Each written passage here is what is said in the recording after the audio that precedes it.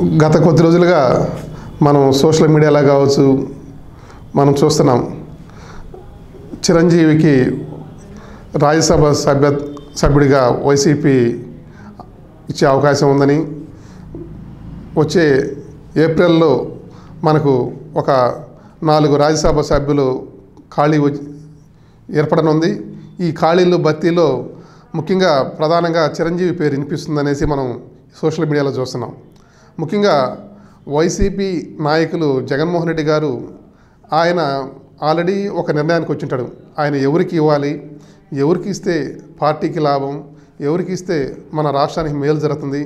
ఎవరికి ఇస్తే మంచి జరుగుతుందని ఆయన ఆల్రెడీ ఒక నిర్ణయానికి వచ్చి ఉండొచ్చు ఎందుకంటే ఆయన ఏదైనా సరే ముందుగా ఆలోచించి నిర్ణయం మంచి నిర్ణయం తీసుకుంటాడు.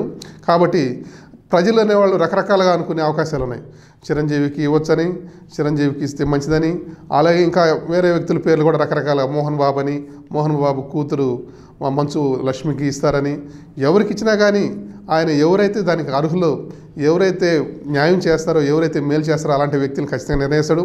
ఆయన అదేవిధంగా ప్రతి ఒక్క సామాజిక వర్గానికి కూడా ఆయన ప్రాధాన్యత ఇస్తూ ఎవరైతే మనకు ఉపయోగపడతారో వాళ్ళకి ఖచ్చితంగా కూడా ఆయన అవకాశం కల్పిస్తాడు అదేవిధంగా చిరంజీవి లాంటి వ్యక్తులకి రాజ్యసభ సభ్యుడిగా ఇవ్వడం మంచి మంచి ఆలోచనే. ఇస్తే మంచిదే. ఎందుకంటే స్వాగతించాల్సినటువంటి విషయమే. ఎందుకంటే ఆయన గతంలో కాంగ్రెస్ పార్టీ తరఫున రాజ్యసభ సభ్యుడిగా పనిచేసినటువంటి అనుభవం ఉంది. అలాగే మనకు అసెంబ్లీలో శా- శాసనసభ్యుడిగా కూడా ఆయన ప్రజారాజ్యం పార్టీని పెట్టి ఆయన రావడం అలాగే రాజకీయ అనుభవం కొంత ఉండడం. అదేవిధంగా మన రాష్ట్రంలో ఒక స్టార్ హీరో మన రాష్ట్రంలో కాదు దేశంలో కూడా ఒక మంచి స్టార్ హీరో. అలాంటి వ్యక్తులకి ఈ రాజ్యసభ సభ్యత్వం ఏదైనా రాజ్యసభ సభ్యుడిగా ఇస్తే మంచి మెసేజ్ కూడా వస్తుంది. ఎందుకంటే ఆయన ఒక కళాకారుడు కాబట్టి ఆ కళాకారుల రంగానికి సంబంధించినటువంటి వ్యక్తికి కూడా ఒక రాజ్యసభ సభ్యునిగా ఇచ్చినటువంటి పేరు కూడా వస్తుంది. అలాగే మోహన్ బాబు కూడా ఆయనకి రాజకీయ అనుభవం ఉంది. గతంలో కూడా ఆయన రాజకీయాల్లో పనిచేసినటువంటి వ్యక్తి. అలాంటి వాళ్ళకి కూడా ఇచ్చినా కానీ మంచిదే. లేదు ఎవరైనా ఎవరు అలే అదే మంచు లక్ష్మి గారికి రాజకీయ అనుభవం లేదు కానీ ఆమె కూడా ఒక మంచి డైనమిక్ మంచి యాక్టివ్ ఉన్నటువంటి పర్సను. సో ఈ విధంగా ఎవరికైనా సరే ఈ ఈ రాజ్యసభ సభ్యత్వం ఎవరిని ఇస్తాడో ఆయన ఒక నిర్ణయానికి వచ్చి ఉంటాడు ఆల్రెడీ. ఇంకా కూడా కొంతమంది షర్మిలా గారికి కూడా ఇస్తాడని చెప్పనేసి షర్మిలా గారికి వాళ్ళ సోదరి షర్మిలా గారికి కూడా ఇచ్చే అవకాశాలు నేను కూడా మనం సోషల్ మీడియాలో చూస్తున్నాం. కానీ వాళ్ళ సోదరి షర్మిలా గారు కూడా రాజ్యసభ సభ్యులకే కాదు ఆమె దేనికైనా అర్హురాలే. ఎందుకంటే ఆమె గతంలో పార్టీకి ఎంతో సేవ చేసినారు పార్టీ కోసం ఎంతో కష్టపడి ఉన్నారు.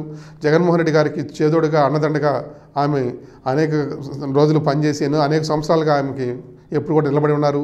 ఆమె కష్టకాలంలో కూడా ఆ పార్టీ కోసం ఎంతో ఆమె ఒక ఆడబిడ్డ అయ్యండి ఒక స్త్రీ అయ్యండి కూడా పాపం రోడ్ల మీదకి వచ్చి ఎంతో కష్టించి ప్రజల కోసం ఎంతో శ్రమ చేసినటువంటి ఆమె ఆమె వ్యక్తి. నిజంగా కూడా ఆమె గొప్ప రాజశేఖర రెడ్డి గారి తనయరాలు తనయరాలండి కూడా. ఆమె ఎంత కష్టపడిందంటే పార్టీ కోసం ప్రజల్లో ప్రజల కోసం నిజంగా కూడా అది మనం ఎంతో గుర్తించాల్సినటువంటి విషయం.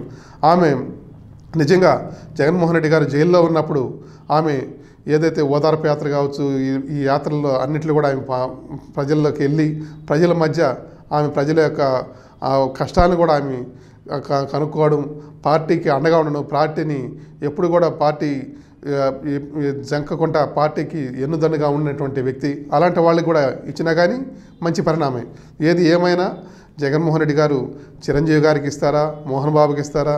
మంచులక్ష్మికి ఇస్తారా? ఇంకో వైఎస్ షర్మిల గారికి ఇస్తారా? ఎవరికి ఇస్తారా? ఇంకొక వ్యక్తికి ఇస్తారా? బీసీలకి ఇస్తారా? ఎవరికి ఇస్తారా అనేది ఆయనకు ఒక అభిప్రాయం ఉంటుంది.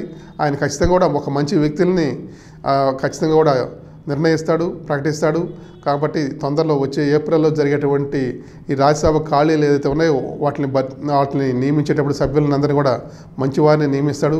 గతంలో కూడా ఆయన ఆయన అనుభవం ఉన్నటువంటి వ్యక్తి కాబట్టి అన్నీ ఆలోచించి మంచి నిర్ణయాలు తీసుకుంటున్నాడని అభిప్రాయపడదాం. Thank you